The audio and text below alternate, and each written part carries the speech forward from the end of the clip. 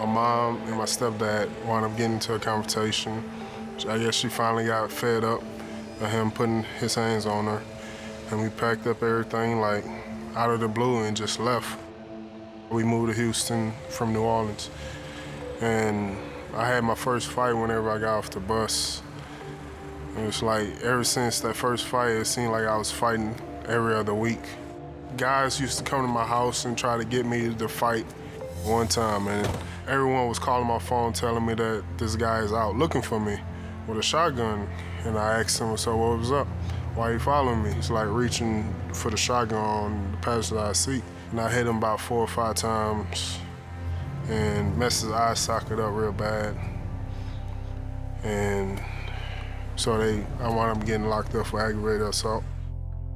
So all this happened like two weeks before graduation. And I had a full scholarship.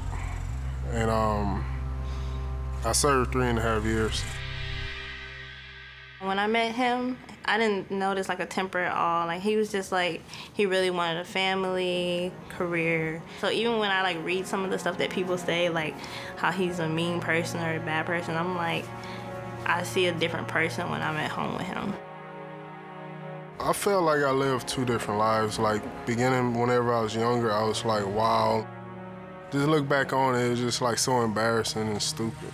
I'm almost 30, I feel like I'm more mature and living my life like a man, like a real man supposed to, taking care of my family and just being more optimistic about a bunch of stuff that I do in my life. I just feel like you have to give people a fair chance to become the person that they're trying to become. So I know that he wasn't gonna just be like this perfect guy, but instead of just like sweeping it under the rug and like, oh no, you're not ready yet, because I know we all have to mature into whoever we're trying to become. I had a couple of goals that I had set for myself before um, I got released.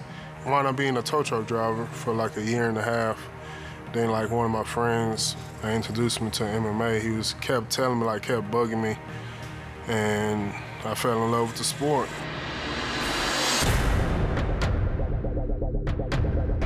When he first started, I just kind of thought it was like a hobby. I thought he really wanted to drive trucks. He was like really passionate about it and he kept telling me it was his dream, so I just tried to be supportive of it. You know, this is his job and he takes it very serious.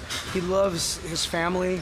He loves his gym and his friends. I don't care what he did in his past. You know, I just care about the man that he is now. And every day I see him evolving into not just a better fighter, but a, a, a better man, a better person. And that's what I want ultimately for him, just to keep growing. Bob, you know, he's um, a good role model. He's the type of guy that go the distance for you. You know, he'll back you up. Two, three, two, roll, two, three, two. Here, here. That's it. He's a, a, physical anomaly. I mean, the strongest guy I've ever met. The power in his hands, I honestly can't compare to anything. And like he says, all I have to do is touch their chin. If he touches your chin, you're going to sleep. Whenever I spar, I don't hit hard. uh, he says he don't hit that hard in practice, though. He hits. Uh, yeah, I felt it quite a few times, but uh, he holds back on me. I'm, I'm, glad. I still have on my teeth. You know, I still got my pretty smile, but uh, it's just something that when you feel Derrick, you understand that sometimes power just cannot be measured.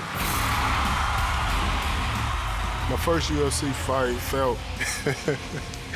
then when I'm walking to the octagon and like Jack May trying to give me his serious face, and I'm like, man, I'm not even worrying about you right now. It's like God put me on this earth.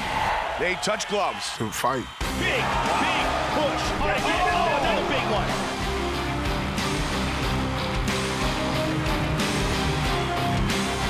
Sanchez back. Big right hand and he's out. Derrick Lewis, yet another finish.